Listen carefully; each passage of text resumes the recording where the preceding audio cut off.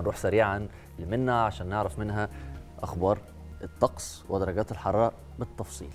سريعا عشان ما نقولش لا خدي. وقتك. أنا أنا موافق. أنا تمام. الجو. لا وقت- واخدي وقتك. وقت جدا. إحنا محتاجين نعرف درجات الحرارة بالتفصيل. آه، يعني بعد اللي حصل في الفاصل لازم الواحد وهو بيتكلم معاكي يديلك وقتك كامل.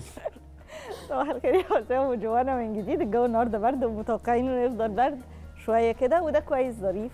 يعني خلينا الناس تقعد في البيت شوية نحافظ على إجراءاتنا الاحترازية شوية أيوة. بلاش نخرج ونتفسح كتير في أجازة نص السنة اللي والله اللي يقدر يخرج ويتفسح في يعني- الجو ده هو لا أنت حر. أنت خدتي بالك بلاش نخرج في أجازة نص السنة اللي هو عشان هي عندها الأولاد اللي هو هفضل قاعدة معاهم في البيت عشان الإجراءات الاحترازية بلاش نخرج في عشان الجو الأجازة. برد وعلشان نقلل فرص الإصابة بالعدوى فكلها حاجات يعني ربنا ما بيعملش حاجة وحشة ابدا. أكيد. هيئة الأرصاد بتتوقع إن النهارده الطقس يكون بارد على القاهرة الكبرى والوجه البحري والسواحل الشمالية وشمال الصعيد ويكون مائل للبرودة على جنوب سيناء وسلاسل جبال البحر الأحمر وجنوب الصعيد. بالليل الجو هيكون شديد البرودة. على كافة الأنحاء ممكن يوصل لحد الصقيع على وسط سيناء. النهاردة كمان في أمطار خفيفة على السواحل الشمالية الشرقية وسلاسل جبال البحر الأحمر. هنلاقي كمان شبورة مائية كثيفة الصبح على الطرق المؤدية من وللقاهرة الكبرى والوجه البحري والسواحل الشمالية ومدن القناة ووسط سيناء وشمال الصعيد.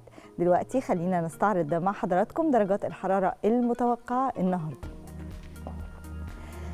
القاهرة العظمى فيها 15 والصغرى 8 الإسكندرية 15 8 مطروح 15 8 سيوة 15 4 بورسعيد 16 8 دمياط 15 8 الإسماعيلية 15 8 والسويس 15 8 العريش العظمى فيها 16 والصغرى 8 طابة 14 10 كاترين 6 وبتصل بالليل لحد التجمد. درجة الحرارة بتكون صفر.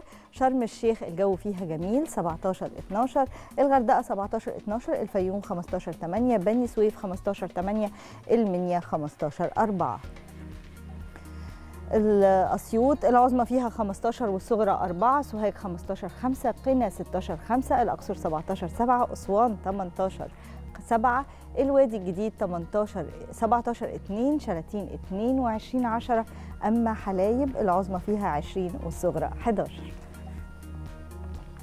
إحنا متوقعين إن موجة الطقس البارد تستمر معانا كام يوم كده. دفوا كويس وربنا يحفظكم.